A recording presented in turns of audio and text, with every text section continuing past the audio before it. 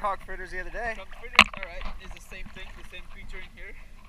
Alright, so these guys, they're like shellfish-like creatures. They're hard muscle, alright? So what they do are, to move around is that they have a nail. You can see, I'm gonna hold it right here. Yeah, See the point of my finger? yeah. Alright, that nail is how they move around the area. Right? So what they do is they So stick drag themselves, right? And they pull, yeah. Stick and pull, right?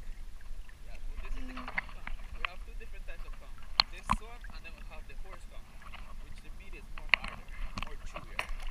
So you gotta boil it. This one you can cook it freshly. The other one you have to boil it first. Then you can eat it. That's our contribution to dinner then, huh? yeah. But this guy, no, he's too small. So Do the jellies out here sting? I saw a couple of them. yeah, no, those are those those things. Okay. Yeah. Got a little scratch on my back. Oh, you got? It doesn't hurt. It's just I can feel a little scratch. So Well, maybe there's there's the little smaller ones that we cannot see.